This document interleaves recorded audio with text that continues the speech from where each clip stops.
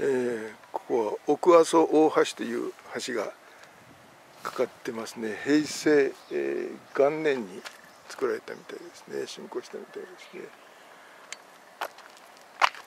高森町から今高千穂の方に向かって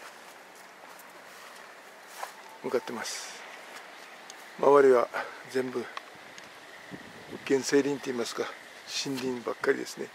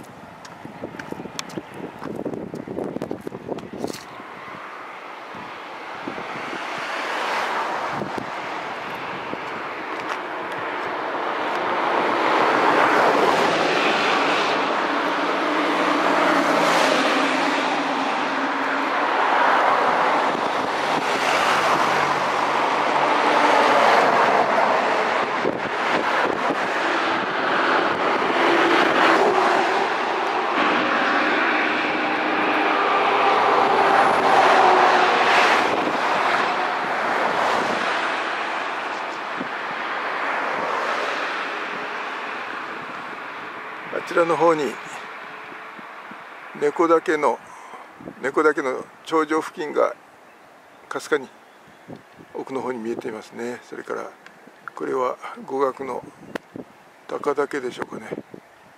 かすかにあちらの方に見えてますね。すごい新緑に囲まれた森林ですね。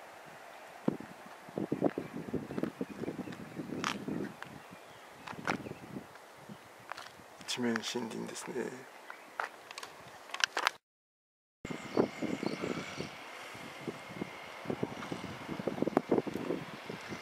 今高森町から、えー、高千穂の方に325号線ですかね向かってますけども2つ目のここに橋がありましたね。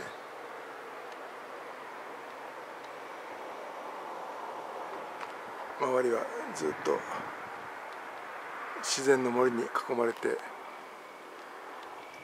少し点々と集落があるような状況ですね。